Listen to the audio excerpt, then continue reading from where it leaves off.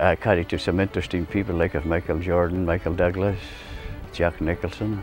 Michael Jordan was a very fine golfer and a gentleman. Michael Douglas, quite a good golfer, but uh, Nicholson, no comment.